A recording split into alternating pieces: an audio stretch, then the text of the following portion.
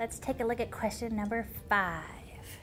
It says your principal surprises you by buying your class a turtle. He brings the turtle to your class along with a sheet from the pet store titled Turtle Tank Rules. And the rules state tank walls must be at least one foot tall so the turtle can't climb out. And two, there must be at least 400 square inches of floor space for the turtle to walk around on. Your teacher says the volume of the tank must be smaller than 5,000 cubic inches so it doesn't take up too much room in the classroom. Give the dimensions of a tank that would work for your new turtle.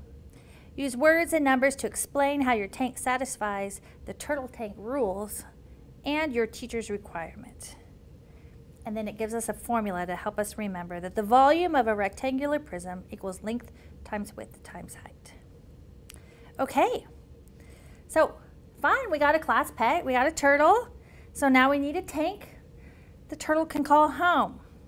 We have options here. We just need to make sure that the tank we designed follows a few simple rules. The rules are that the walls must be at least one foot tall so the turtle can't climb out. It's a good rule. Second one is there must be at least 400 square inches of floor space for the turtle to walk around on. And the teacher says the volume of the tank must be smaller than 5,000 cubic inches. So we have three criteria that our tank must meet. So let's draw our tank.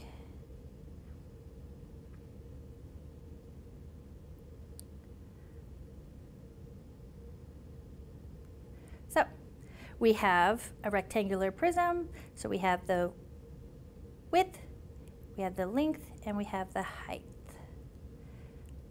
So our tank has to meet these criteria. The volume, the height times the width times the length has to be less than 5,000 cubic inches. So height times width times length must be less than 5,000.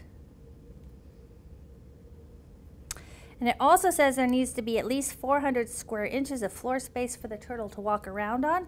So the floor space, that's our width and that's our length. So the width times the length has to be at least 400 square inches. So it has to be equal or greater than 400 square inches. Okay and then the walls must be at least a foot tall. So let's, let's start with the width times the length. We'll design our floor first. So we have to have the width times the length has to be equal or greater than 400. So what two numbers can we multiply together that are equal or greater to 400? So let's decide to make the width 45 inches and let's make the length 10. It's easy to multiply. 45 times 10 is 450.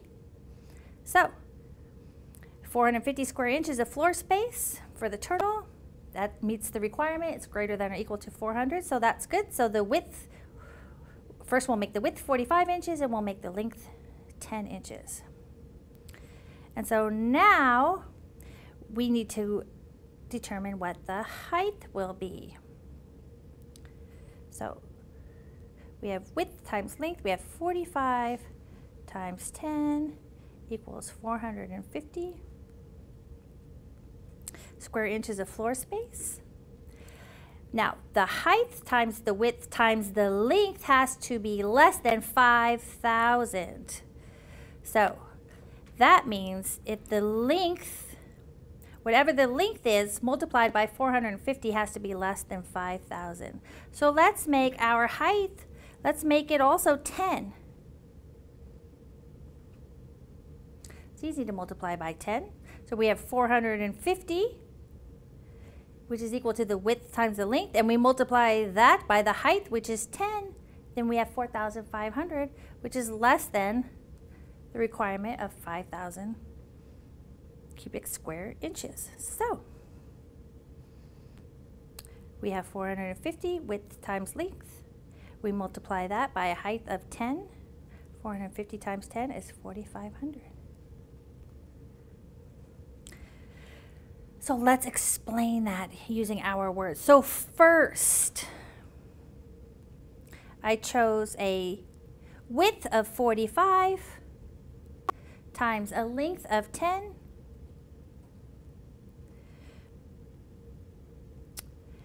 so that gives me 450 square inches of floor space for the turtle to walk around. That meets the requirement that it's at least 400 square inches.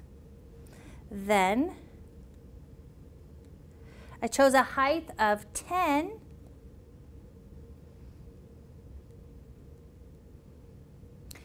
and I calculated the volume. So it gave me the formula here. Volume of a rectangular prism is equal to the length times the width times the height. And so we know that the width times the height is 450. It's 45 times 10. And we multiply that by the height. We have 4,500. And that gives us our total volume. Which is meets the requirement that the volume, the teacher said the volume of the tank has to be smaller than 5,000 cubic inches. So we have 4,500 cubic inches. So first, we use numbers for the length times the width.